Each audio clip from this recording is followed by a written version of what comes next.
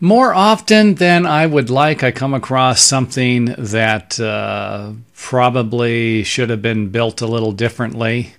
Or, um, you know, and a lot of times that I do come across stuff, I understand that uh, people, we just can't figure everything out.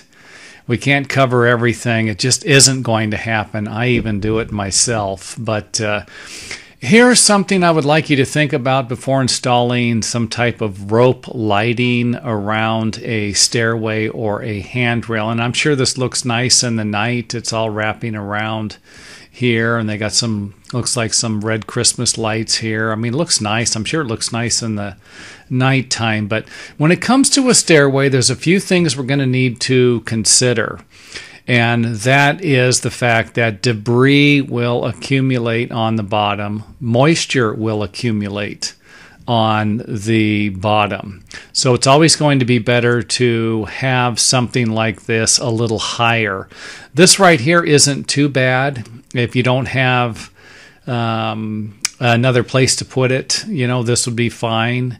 Um, it's not on the ground. It's not near the debris. It's not near the water. Something like this is, and then something like this actually looks like this is a little loose. This is something that uh, leaves and stuff can't accumulate behind. It's not going to be easy to clean. You're going to be moving it.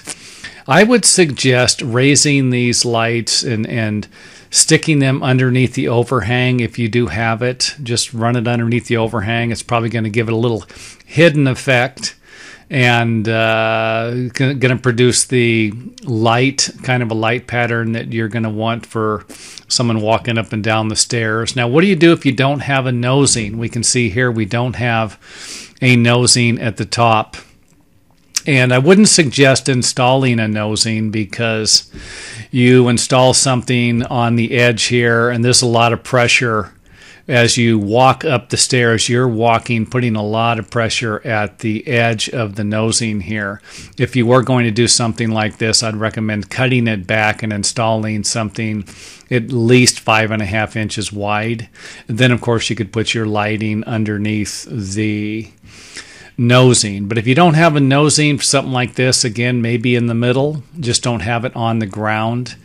The last observation I would like to point out is let's not forget that this is considered a grippable handrail.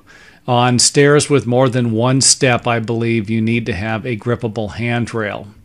And this, the lighting right here, is uh, going to create a problem for that in some cases. So, wouldn't be a bad idea to um, maybe run the lighting from side to side, pole to pole. Just don't have it on the part where you will be using it to grip and hold on to. And a lot of times, you know, when I come across something like this, you know, it's usually designed by somebody and or and built by somebody who doesn't have problems walking up and down the stairs. They're not holding on to the handrails. This doesn't really it's kind of like, hey, this is just a decoration anyway, might as well throw some lights around it.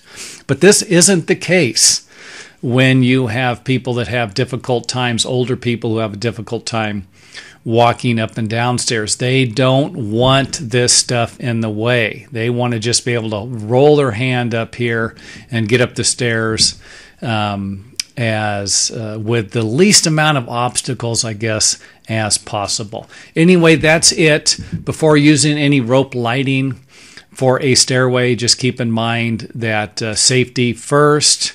Make sure that it isn't going to be touching any water, no moisture. It's not going to be um, sitting in something like that. It's not going to be a safety hazard uh, that way.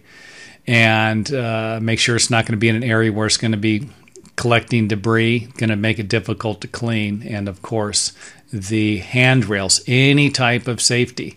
You know, I mean, these are still things that someone, if placed incorrectly, could actually trip on too. So I see a lot of problems with something like this that someone else might not see. And again, a little bit of thought and a little bit, bit, of planning can go a long way and uh, save some uh, people a lot of frustration in the future.